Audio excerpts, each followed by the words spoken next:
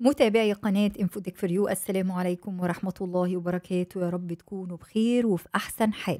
عادت شركة DeepSeek بإصدار جديد. هذا الإصدار نزل بشكل كده مفاجئ على Hugging Face بدون أي دعاية أو إعلان. وهذا الإصدار هو DeepSeek version 3.1 DeepSeek version 3.1 حقيقة هو نموذج يعتبر base model وال base model بيكون كده نموذج خام. يعني إيه نموذج خام؟ لسه ما تمش تدريبه بشكل كافي. يعني هو تم تدريبه بشكل أولي على كم ضخم من النصوص لكن مفيش تدريب إضافي على فهم التعليمات. يعني المحادثات إزاي تتم بينه وما بين البشر. مش هتلاقيه بيشتغل بالشكل اللي إحنا متعودين عليه لما بنيجي نعمل شات مع ChatGPT مثلا. كان آخر تغريدة ليهم في 29 مايو لما اتكلموا عن التحديث الجديد على R1 بتاريخ 28 5 وطبعا إحنا لا نختلف إن DeepSeek R1 يعتبر من أقوى النماذج المفتوحة حتى الآن. بعدها يعتبر في نماذج تانية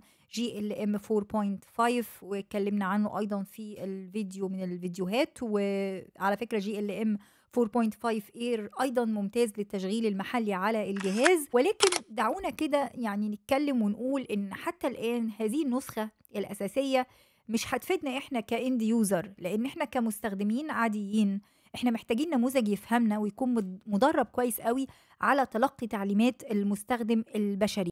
ممكن يديك رد وكل حاجة ولكن مش هيكون الرد الذكي اللي أنت متوقعه. فهو مش مناسب حاليا للمحادثة أو الكتابة أو البرمجة. لكن لو أنت عايز تاخده عشان تدربه على اتباع التعليمات فالموضوع هنا مختلف. طب مواصفات هذا النموذج إيه؟ هذا النموذج 685 مليار بارامتر نافذة السياق بتاعته بتوصل ل 128 ألف token ويقال إن هو أدى أداء كويس في اختبار Aider للبرمجة بيتفوق على Claude Opus 4 والأهم إن تكلفته أقل 68 مرة من النماذج المغلقة. طبعا ما نقدرش نحكم عليه دي كلها كلام حوالين النموذج ولكن زي ما قلت لكم يعني التجربة هي خير دليل فحتى الآن لا يمكن أبدا إن أنت تحكم على base موديل إطلاقه المجاني إن هو تم إطلاقه كده بشكل مجاني كبيز موديل مش صدفة لأن استراتيجية الصين من بداية يعني بتدعم المصادر المفتوحة عايزة تسرع انتشار الذكاء الاصطناعي عالميا حتى لو الكلام ده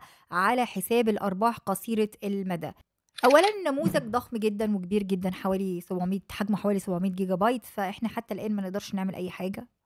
صعب طبعا يشتغل. ده عايز يعني قد جهاز قوة عالية جدا من بطاقات ال RTX والرامات وأيضا كروت الشاشة. الموضوع مش سهل اطلاقا يعني. ولكن أكيد أكيد هنلاقيه قريب إن شاء الله على بعض المواقع اللي هتستضيفه أكيد وهنجربه مع بعض. ده بشكل سريع DeepSeek version 3.1 الإصدار الجديد من DeepSeek وإحنا في انتظار النسخة المهمة هي نسخة ال instruct اللي هي النسخة اللي إحنا نقدر نجربها النسخة المدربة. إن شاء الله نحن في الانتظار إن شاء الله للتجربة قريبا.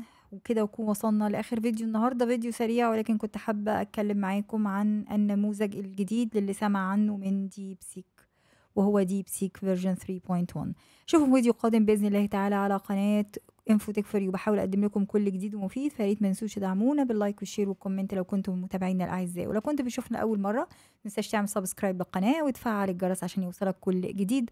دمتم في رعاية الله والسلام عليكم ورحمة الله وبركاته.